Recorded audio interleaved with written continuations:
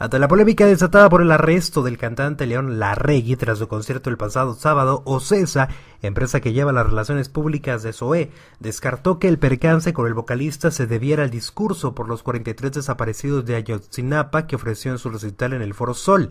La empresa artística señaló en una entrevista con el Universal que no emitirá ningún comunicado para aclarar la situación. Fue un hecho aislado y nada tiene que ver con el discurso que León dio durante el concierto. El hecho que lo llevó a tener el altercado fue por sus razones personales del músico, dijo Erendira Rivera Cano, gerente de prensa de Ocesa. Precisó que el cantante Montano no pasó la noche arrestado como se había dicho. Él está bien, pasó la noche en su casa y no tuvo nada grave. El resto de los integrantes están ajenos a este hecho. La Reggae publicó en su Twitter me acaban de arrestar y violentar unos neandertales. No me dan miedo que se vayan a la PIM.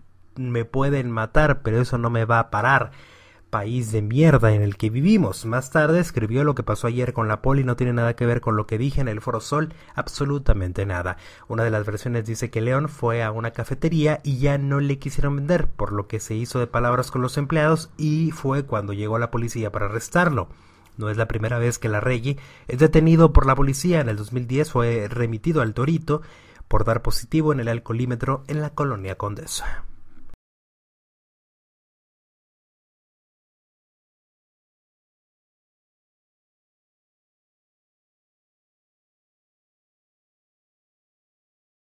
¿Quieres recibir la mejor información del mundo de los espectáculos diariamente? Suscríbete al canal. Aquí debajo de la flecha, ahí te puedes suscribir. Es gratis. Y estarás informado de lo más importante de los espectáculos.